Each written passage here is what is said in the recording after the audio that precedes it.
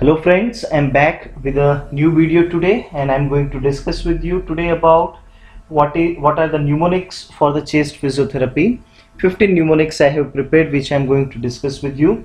All are very good and very important from the clinical perspective. Let's see the first one contraindications of postural drainage. The mnemonics is H raised to 4, P square, toes and fa okay once again h raised to 4 p square toes and fa. 4 time h 2 time p toes t o e s and fa a famous perfume okay deodorant brand. So 4 time h okay very simple to remember. Head injury hiatus hernia severe hypertension severe hemoptysis. I repeat once again. Head injury hiatus hernia severe hemoptysis severe hypertension 2 times P, peritoneal dialysis and pulmonary edema. Peritoneal dialysis and pulmonary edema. TOES, T-O-E-S, tension pneumothorax, esophagectomy, eye operations and surgical emphysema. I repeat once again, tension pneumothorax, esophagectomy, eye operations and surgical emphysema. FA, facial edema and aortic aneurysm facial edema and aortic aneurysm. Let's see it quickly. Hiatus hernia, head injury, severe hypertension, severe hemoptysis. 4 times H. 2 times P, pulmonary edema and peritoneal dialysis. TOES, TOES, tension pneumothorax, esophagectomy, eye operations, surgical emphysema. FA, facial edema, aortic aneurysm. Let's see the second mnemonics that is for the arterial disease okay arterial disease the mnemonics is bar one a famous chocolate brand. Okay b a a a r. I have included one extra a. And with this mnemonics you'll be able to remember the name of the disease very easily. B stands for Buerger's disease arteriosclerosis atherosclerosis aneurysm and Raynaud's disease. I repeat once again Buerger's disease arteriosclerosis, atherosclerosis, aneurysm and Raynaud's disease. Okay, Buerger's disease, arteriosclerosis, atherosclerosis, aneurysm and Raynaud's disease. Let's see the third one that is disease of the vein. The mnemonic says PPVD, very easy to remember. Pulmonary embolism, phlebitis or thrombophlebitis, varicose vein and deep vein thrombosis okay pulmonary embolism phlebitis or thrombophlebitis varicose vein and deep vein thrombosis. Let's see the another one arterial surgery.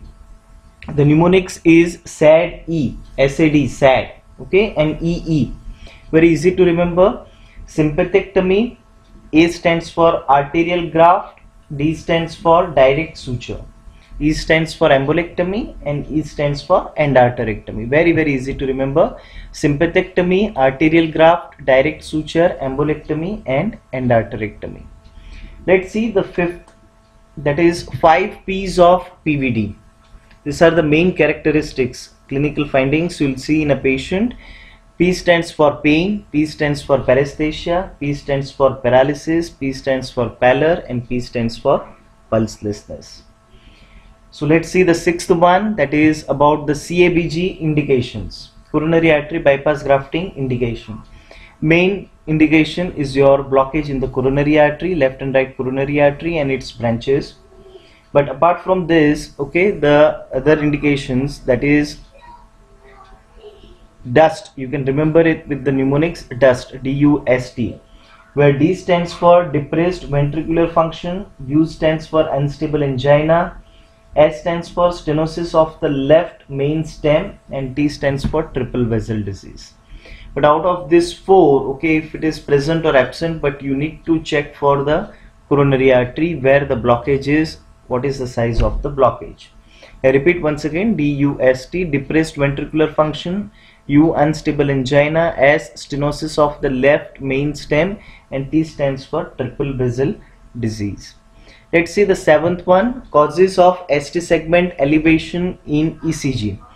Okay, uh, why the ST segment will be increased in ECG? The mnemonics is elevation. Okay, where E stands for electrolytes, L stands for left bundle branch block, Okay, E stands for early repolarization, V stands for ventricular hypertrophy, A stands for aneurysm, T stands for treatment, I stands for injury, O stands for Osborn waves like your hypothermia, and N stands for non-occlusive vasospasm. Okay, so the mnemonics is elevation. Let's repeat once again.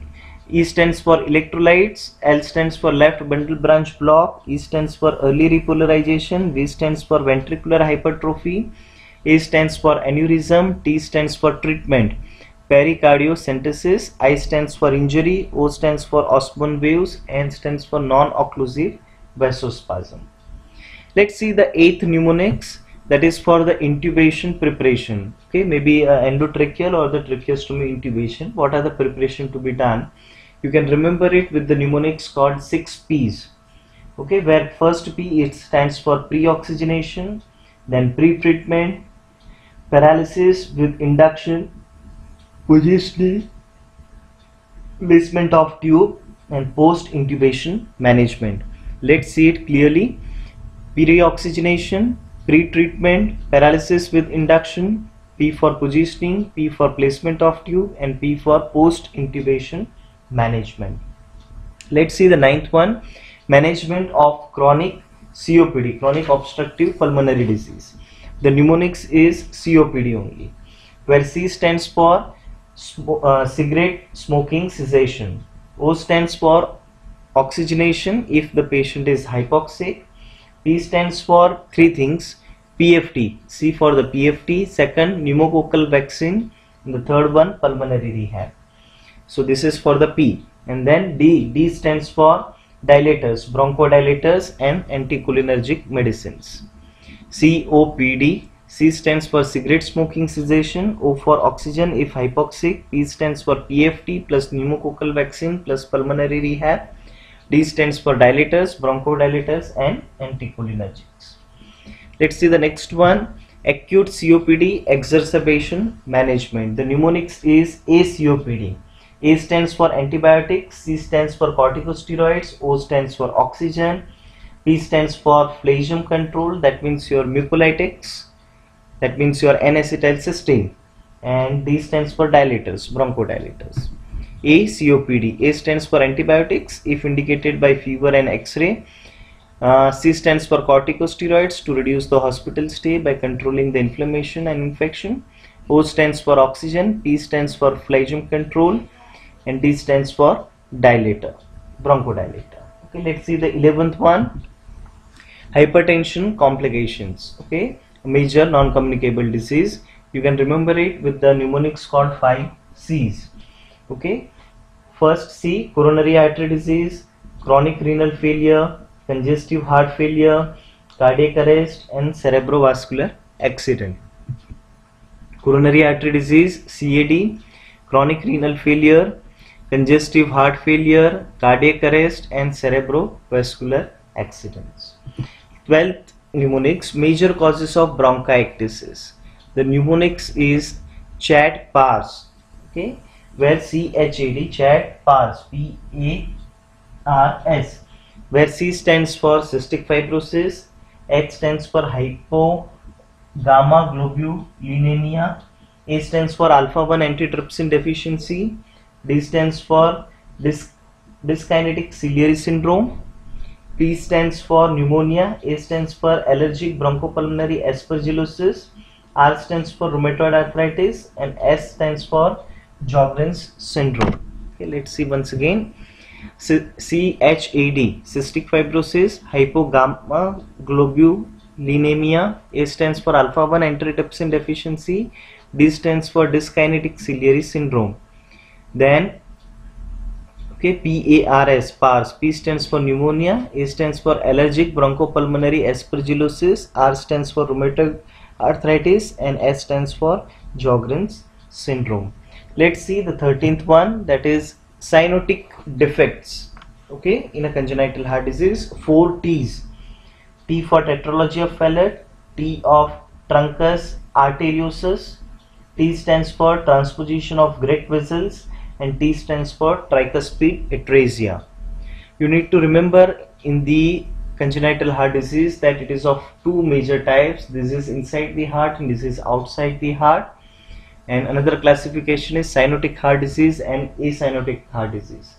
So in cyanotic defects you can remember it with the mnemonics called four T's tetralogy of Fallot truncus atrios arteriosus T for transposition of great vessels and T stands for tricuspid atresia let's see the 14th mnemonics okay? That is your aortic stenosis characteristics. Now we have four different valves okay? That is tricuspid bicuspid pulmonary and aortic. So the valve can go for two major defect. It can go for the narrowing we call it as a stenosis of the valve and it can go for the regurgitation. Uh, it loses its property to the certain extent. It goes for the incompetency and it causes regurgitation of the blood. So aortic stenosis if the aortic valve is going for the narrowing okay what are the characteristics? The mnemonics is SAD SAD where S stands for syncope A stands for angina and D stands for dyspnea. Let's see the last one that is heart valves okay from right to left side okay and the famous mnemonics uh, that is they pay me alcohol. That is the mnemonics okay and uh, you have to remember the first letter of the word of the mnemonics they THEY where T stands for tricuspid valve. Okay P st uh, P, P P stands for pulmonary semilunar valve. Me ME M stands for mitral bicuspid valve. And A okay that is alcohol A aortic semilunar valve. Okay so to summarize let me tell you that this 15 mnemonics will be very helpful to you. You need to remember few of them to make our clinical practice easy. That is definitely going to be helpful. So thank you for your patience listening. Thank you once again